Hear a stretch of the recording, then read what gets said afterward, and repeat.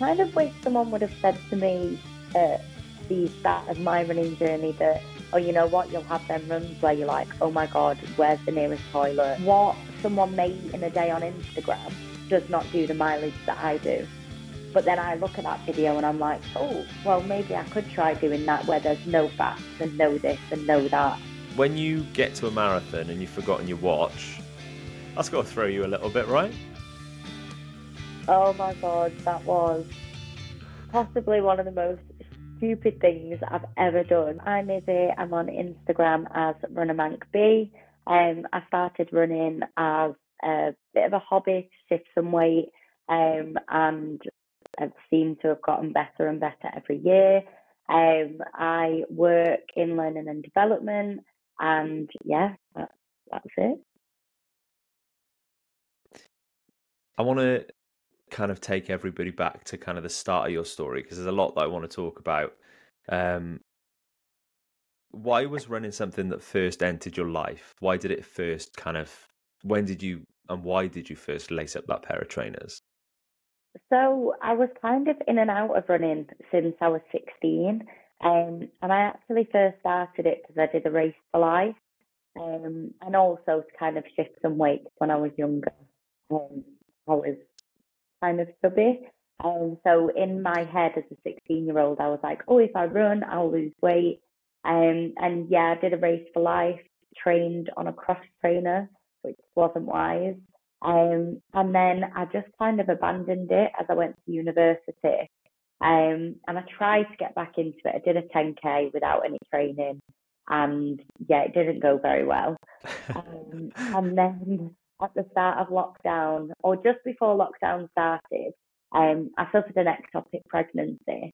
Um, and I was like, oh, I really, really want to do something for the charity that helps me. And I was like, I'll just do a half marathon, um, like you do.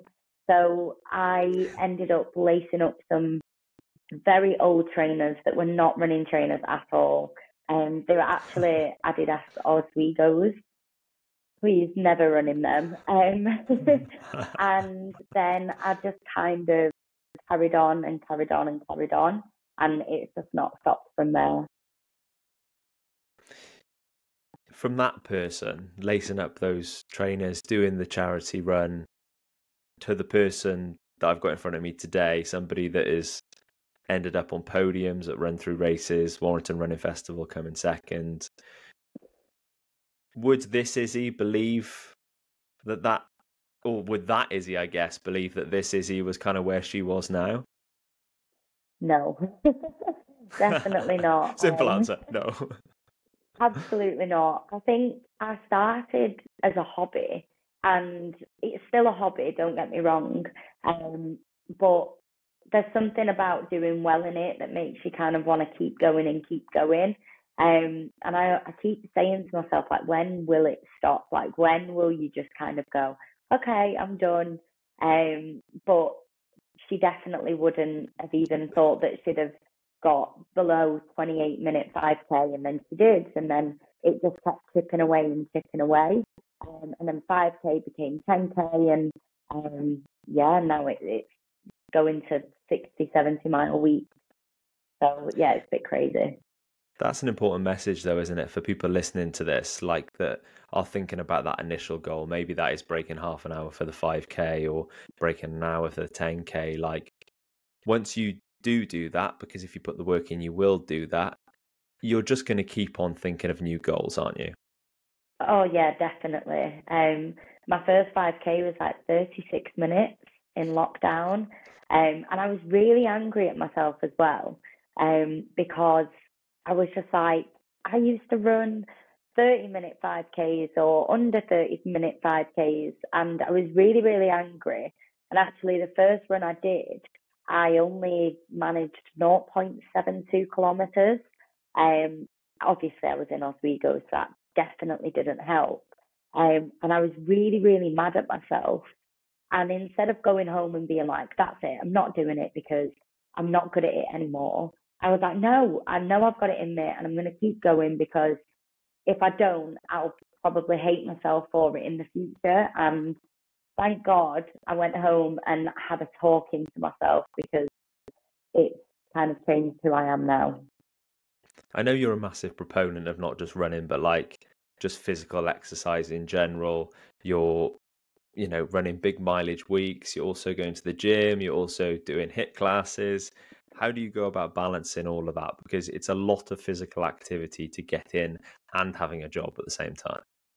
Yeah, it is really tough. And a lot of the time it's 5 a.m. wake ups and it's going to bed at like half nine because I've ate late. Um, and I won't lie, it's been a struggle in a sense of my eating because I'm so on the go all the time. My eating did suffer, um, and it then means that you suffer. Um, and it wasn't something that I was very familiar with because I've always been such a big lover of food.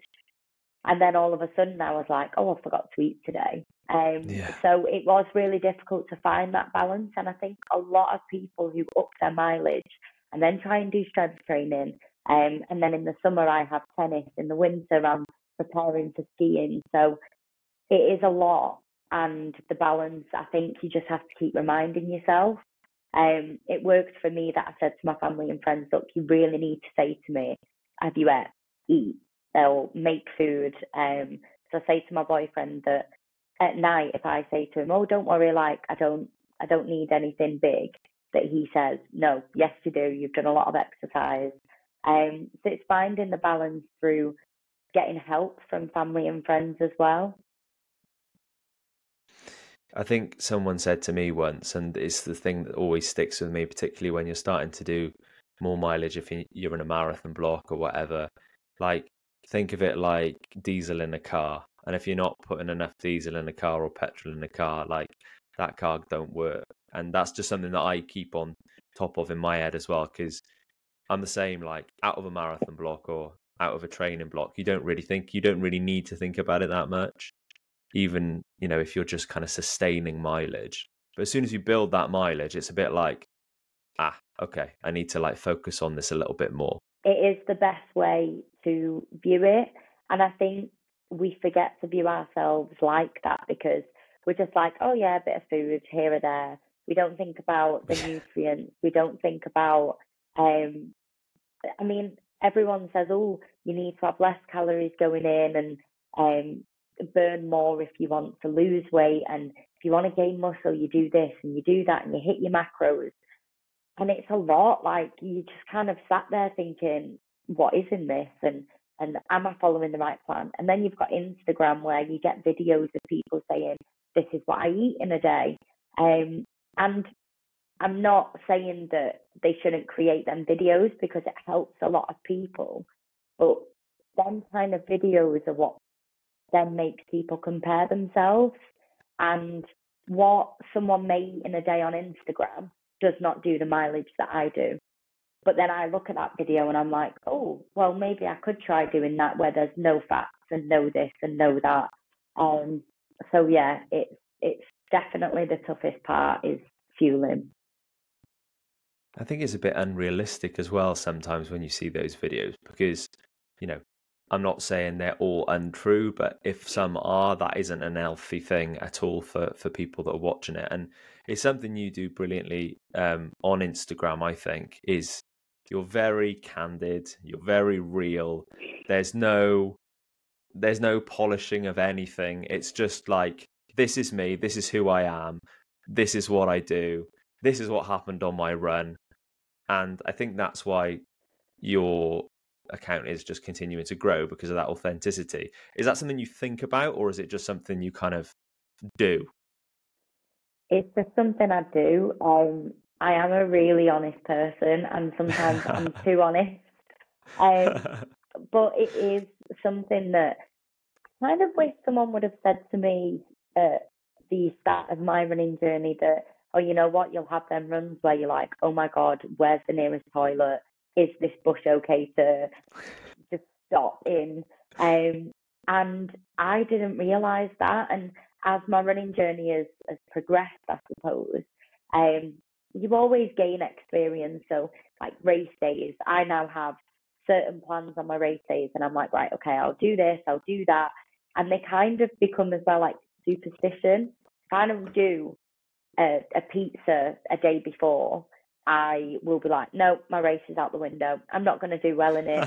and I, I, do. And I have this thing where I have to make a pizza as well. Um, I say, well, it's before a marathon that I have to do that. I say to myself. Um, so yeah, there's there's a lot that I'm very open and honest about. Um, often during my runs and um, needing the toilet and even kind of being like, you know what, that was a really bad run. Um, I know in this, well, it's not this marathon training block anymore, but for Valencia, I went out to do a run and it just started throwing it down. I was in shorts, I had no coat, um, and I hated every second. Honestly, from the minute I left the house to the minute I got back, which was, by the way, an hour long run, I hated every single second. And I got back and I, I did a recording and I was like, I hated it. I absolutely hated it. And I'm not going to turn around to myself and be like, oh, it's fine. Tomorrow's a new day. Because in that moment, I was like, I'm done. I'm completely done. Um, so, yeah, being real is definitely something I wish I'd have seen. It's like, yeah, when you have those days, you're like, oh, yeah, I'm not running again. That's me. I'm going to take up golf or something. Like, I, I oh. can't, I can't do it. And then, and then, and then, sort of ten minutes later, like when you've had a drink and you're, I don't know, I, I've got this place. Every run I get back on, I just end up sitting on the stairs. I just sit on the stairs and upload my stuff to Strava when I get home, and then, like, no matter how hard or brutal the session's been, once I get up from the stairs and I've, I've had like a glass of water, I'm like, okay, let's carry on with the day and I'll go again tomorrow. and you're like, that's the thing, isn't it? You're like, oh, I'll be back out there tomorrow. After two minutes later, you've thought, nah, I'm just going to bin all my medals and just forget about this. Burn the carbon shoes. yeah, I think I think that is definitely something that goes through all of our minds, and I think yeah. it's really important to remind yourself of the really good runs that you've had because they're not all going to be amazing. Um, and I think I really struggled with that when I hit a certain point of not getting PBs every time I went for a run. I was like, whoa, what's what's going on? Why am I not suddenly getting more and more PBs? Because when I first started and in lockdown, a lot of people were, were running and they were doing 5Ks. And everyone was like, oh, I'm chipping away at that time. And then suddenly you don't anymore. Um, so it yeah. was it was difficult to get that transition from going out to run a PB and going out to run or marathon training was the biggest lesson for that because you're not going to PB in your marathon training um, every single time, and you shouldn't be. What's what's that like then when you know you're faced with a marathon training program for the first time, and you see all this stuff on there that makes very little sense to people that know what they're doing uh, and and makes even less sense to somebody that's coming to a marathon program for the first time. Your tempos your steadies your easies your intervals your what was that like? Was it a bit overwhelming or or did you kind of take it all in your stride? Um i have to google a lot because yeah, yeah. in my first marathon in my first marathon i didn't train um which was really silly of me the most I did was like 15 kilometers. So it was oh wow, so stupid. I know, I know. Um, and then the second one, I was like, right, I'm actually going to train this time. Um, and I followed a plan on Runner's World.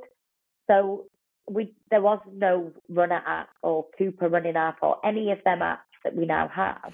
So I saw like Fartlek and interval training and this and that, and I'm thinking, what is all of this? I thought you just have to run a certain amount of miles.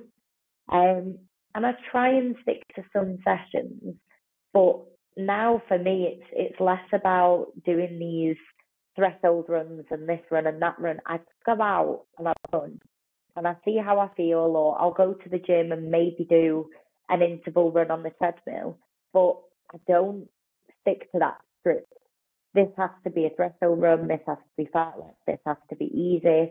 Um, I prefer my easy runs, so if that's what makes you enjoy your training, then I suppose just go with the flow.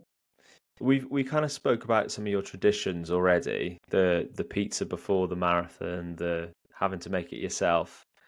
Um, when you get to a marathon and you've forgotten your watch, that's got to throw you a little bit, right?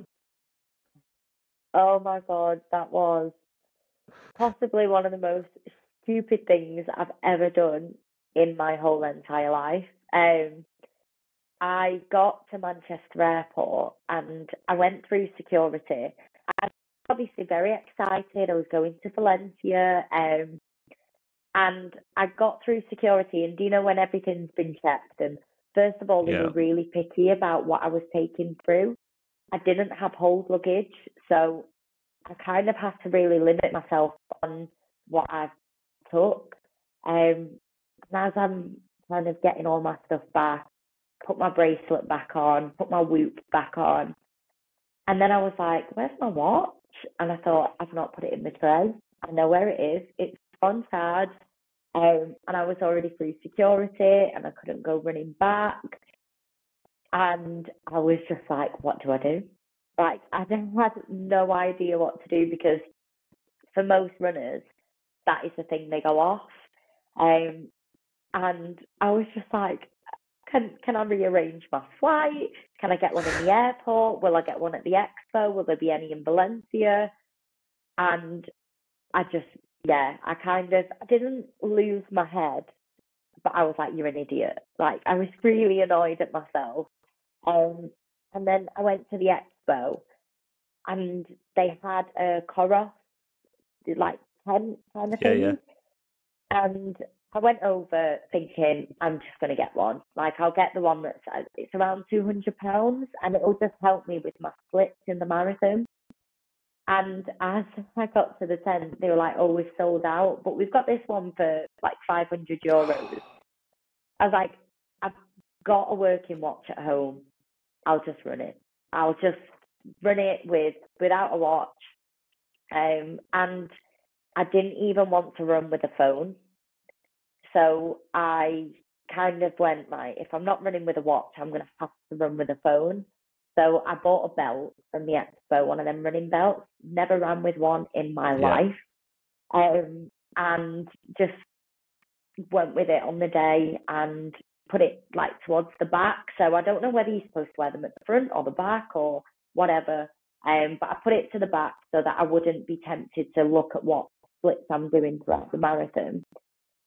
I just ran and um, turned out to be one of the best runs I've ever done. It was steady because usually in a marathon I set off too fast and I end up then slowing down and stopping towards the end. And I didn't do that in this one. I just kind of went with it. I kind of thought, "Ah, I think 30 minutes have been now. I'll have another gel. And it was pretty wild. I think that's a testament uh, to to like how in tune with your body you must be because you know that's a scary situation to be in on the start line of a major marathon. Out there as well working alongside you know a big partner you're out there doing the one of the most famous races on earth and you're you're there trained up and you've decided right I'm going to run this without anything. Did you set off with a pacer or anything or was it literally purely to feel? Purely to feel. I can't really remember, but I think I saw one, and like all my family had said to me, just stick with the pacer then, then you know where you're going to be. And I was like, no, because what if I can go faster at the start? Like, what if I'm not the person I was at London where I did a 314 marathon? What if I'm quicker than that? What if I'm slower than that? So I was like, oh, whatever, I'm just going to go with it. Um, and the start of Valencia Marathon is mayhem. Like I couldn't find my stride at first, and I think that actually helped because it made me pace myself at the start. I was running on like the pavements. I was having to go around the runners, um, and one guy clipped the back of his foot with the front of mine, Oh, and wow. we're having an argument in two completely different languages whilst running. And I was just like, this is this is awful. Like, why did I agree to this? Um, but then eventually, as you probably know, in a race, you you end up breaking off from a lot of people. Um, and I had no clue where I was until I saw like a time map. And I didn't know whether it was one mile or whether it was three because I know some, I don't know, I thought I knew that some races you did have that one mile. Um, and then all of a sudden, I think I finally clocked a sign and it said 7K because the abroad races apparently do it in kilometres. And I was like, 7K has flown by. I was expecting to see a beach that I was supposed to go past. Turns out completely yeah. missed whatever beach might have been there. Um, I just, I think I was so in my own zone that I saw 7K and I was like, okay, right, just keep going, keep plodding. Um, and then I was like, don't pay attention to these pavements, don't look at their markers until you feel like you need that that drive. Um, and then eventually I needed that drive, and it was like the markers saying 30k, and I thought, oh my god, I'm so close. Um, so I think running without a watch definitely helped, but can't say it's something I would intentionally do again. Well, I was going to say that would you do it again, but I think you've just already answered that. Um, for people that don't know, what did you end up running? I ran it in two fifty four oh eight, I think. Which is yeah. wild to say, like especially after like you just said, running around three fourteen in London. Like, did you did you did you feel like you were on for something like that, or was that a pure shock? It was a pure shock. Um, I obviously I couldn't see any time, and I was going off. So in Spain, um, they have like the clocks on the side of a lot of chemists. Okay. Um, yeah, yeah, I've done that. And before. I was, and I was like, set off at eight forty-five or something close to that, and it's now this time. Then I was like trying to do maths in my head, and it was distracting me then from how dead my legs felt. Yeah, so in a pain. way that kind of helped. Yeah, the pain. But I was like, oh, I'll be at three hours ten, so clearly I can't do maths. Um, and as I got towards the end, I had I think a mile to go, and Valencia, it's everyone is in your face towards the end. It felt like it was just like a corridor that you could go down like a single person um, because there's so many people getting closer and closer trying to peer around and see who's there and who's coming next and eventually like the amount of space you've got to run in it just gets thinner and thinner and usually with about three two even one mile to go i quite like to stop I tell myself like, oh, you can stop for like a second or so. Um, and in this one, I was like, keep going, keep going. Um, and one of the lads who I went with, who worked for Pro Direct, he was actually there, and I saw him, and he was like, go, go, go. And I thought he said to me that I'm in the two-hour mark, but I, I couldn't fully grasp what he was saying because at that point I was like, just keep going. Um, and then I got onto like the famous blue, oh, the blue floor, whatever you call it.